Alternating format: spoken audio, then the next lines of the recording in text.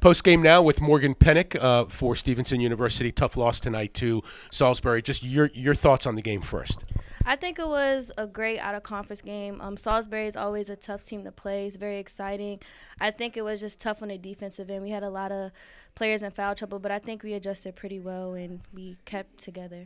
So yeah, so let's talk about that because Co- Coach Jackie and I talked about that. The the foul trouble. I think three or four girls had four fouls, mm-hmm. maybe maybe even a foul out. How did you guys adjust? Like, what was your mindset, your thought process there? Um.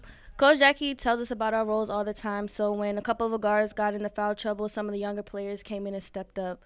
Um, we all know our roles, and we didn't crumble when one of our teammates got a foul. So let, us talk in general about the team. You, you're missing two key players from last year's team. Olivia Coleman and Kelly Johnson. Mm-hmm. Those are those are big losses. There's no doubt. It's going to be hard for anybody to step in and fill their shoes. Mm-hmm. So, what's the mindset of the team in general to collectively make that happen? To collectively make that happen, we have a leadership group that we formed over the summer. And we just had a meeting, so we're we really talk all the time about how we're gonna fill that leadership role. There's like seven of us on this leadership council, so we're just emphasizing to the younger players. We have a young new class of six players to you know do your role and fill in what we're what we're missing.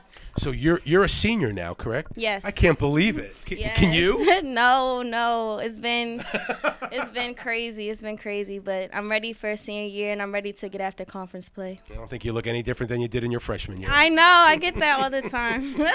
well, listen. Congratulations. Despite the loss, it's yes. going to be a great season. Yes. Happy Thanksgiving to you. Happy Thanksgiving. And that'll do it with Morgan Pennick on GoMustangSports.tv.